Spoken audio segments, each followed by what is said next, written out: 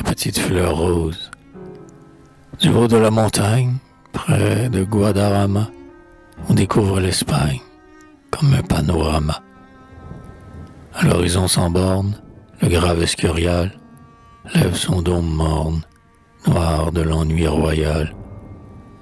Et l'on voit dans l'estompe du brouillard cotonneux, si loin que l'œil s'y trompe, Madrid, point lumineux.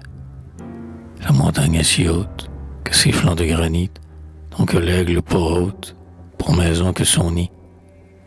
Car l'hiver parle à siège, les pics étincelants, tout argentés de neige, comme des vieillards blancs.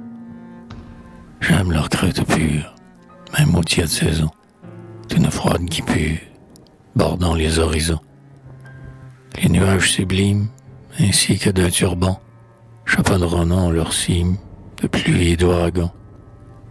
Le pain dont les racines, comme de fortes mains, déchirent les ravines sur le flanc des chemins. Et l'eau diamantée qui, sous l'herbe courant, d'un caillou tourmenté, chuchote un nom bien grand. Mais, avant toute chose, j'aime, au cœur du rocher, la petite fleur rose, la fleur qu'il faut chercher.